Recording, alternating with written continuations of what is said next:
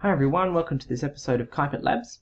In this video we're going to be talking about the relationships between pressure, volume and temperature when we're thinking about samples of gases. Okay, so we're going to go through pressure versus volume first, pressure versus N, which is refers to the number of particles, and then pressure versus temperature for a gas.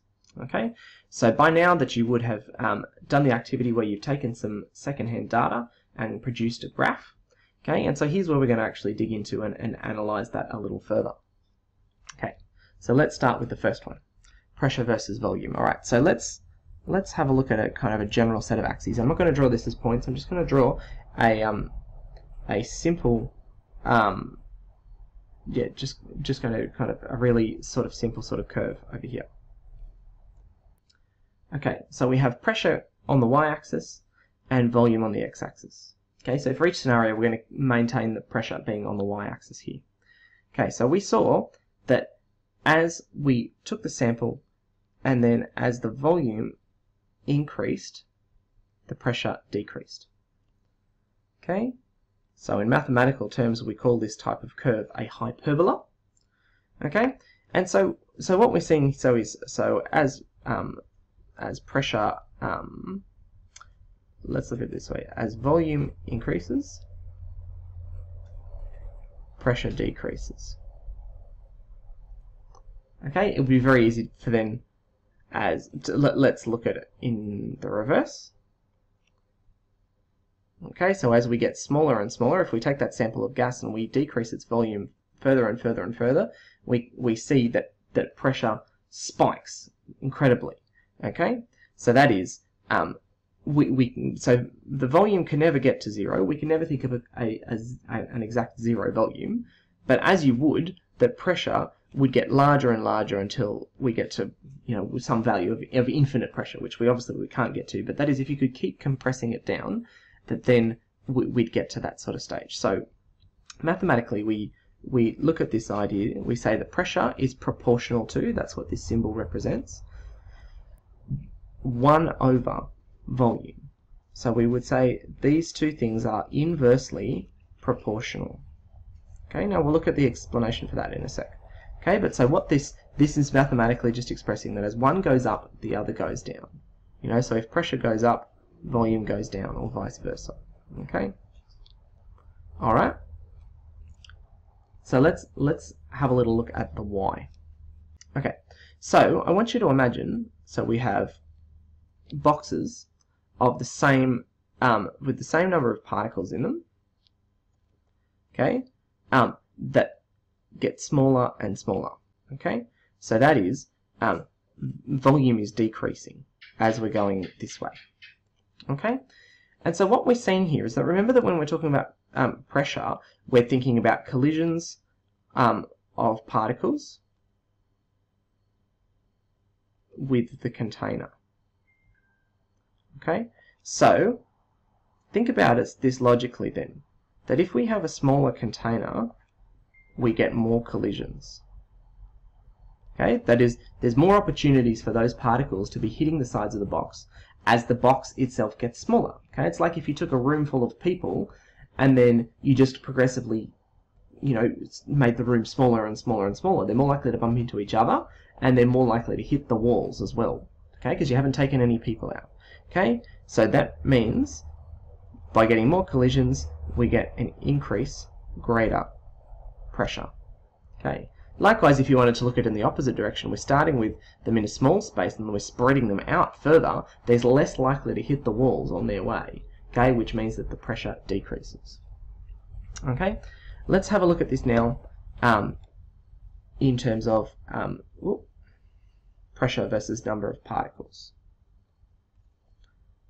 pressure versus n, the number of particles. Okay, so we'll set up our, our set of axes like this.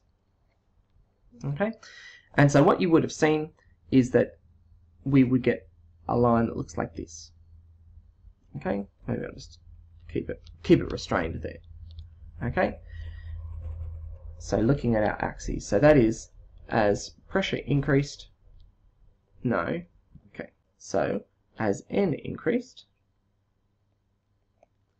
the pressure increased. Okay, so that is as we as we are increasing the number of particles, that is we get more particles leads to more pressure. Okay, which is fairly intuitive for us to understand because if we have three boxes of the same volume, the same size, you know, and say we've got three particles in here and we've got um, six particles in here. And we've got nine particles in here. Okay we've got three six and nine. Okay we can see that we're going to get more and more collisions of particles with the box as we add more particles into the same size. Okay, if we had a, a, given room, you had three people in it, and then all of a sudden you doubled it to six people, and you tripled it to, to nine people, you get more chances that they're going to bump into um, the walls. So we would say that pressure is directly proportional is so directly proportional to the number of particles. Okay, so that means that you know if you double the pressure, um, well, if if you double the number of particles, you would double the pressure. Okay, so it's a direct relationship. Okay, um, so that we're seeing that sort of thing here. If you triple the number of particles, you triple the pressure. If you halve the number of particles, you halve the pressure. Eventually, if you get to a point in which you have zero particles, you should also have zero pressure because there's no collisions between the particles and the container. Okay. Now, let's have a look at the last relationship here.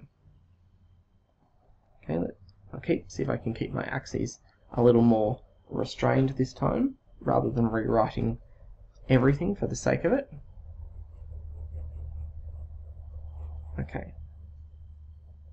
So, this is what we have. Um, so, looked at a value of, of pressure and versus temperature in Celsius. Okay. Now, here's where you notice something interesting. Okay. So, as the print, as you started with the temperature at a certain value, and then as you decreased it, you eventually got to the, to this point at zero Celsius, where our pressure was up here. Okay, so as um, temperature increased, um, the pressure increased. Okay, so that is, you could also then look at it in terms of decreased and then decreased. Okay, that is, as you cool it down, the pressure gets less. Okay, now we're going to talk about the shape of this graph in a second, the fact that it doesn't come down to here in a moment. Okay, because it, well, we can see that there's a logic to this. Okay, but so let's again look at it in terms of boxes of the same size. We've got the same number of particles. Let's go with four in a box this time. Okay, so and let's imagine that we're increasing from uh, our temperature from left to right. Okay, so we kind of did these little little sort of lines to represent particle motion in the past. Okay, and so now what we can see is that we're trying to visualize that as we're increasing the temperature, that is more thermal energy. So as we're increasing the temperature, remember temperature is a, a measure of how much thermal energy is in the sample. Okay, so more thermal energy equals more motion, that is to say more kinetic energy. Okay, this leads to more collisions with the container, which therefore increases the pressure. Okay, so we're seeing, so what I'm trying to represent in the diagrams here with a little, little kind of little trailing lines behind is kind of the, the motion here. So as we're representing, we've got more motion, which means more collisions, more, more force as those particles hit the sides of the container as the temperature goes up. But now we notice something curious, don't we? that as we go down, we get to zero Celsius, but we still have a pressure. We're still getting a force of particles with the sides of the container. A very curious thing for us to see. Okay, but you'll have to wait till the next video to find out. Thanks very much for watching. Bye for now. P.S. Can't forget our chemistry joke, can we? Alright, here goes. What did one ion say to the other?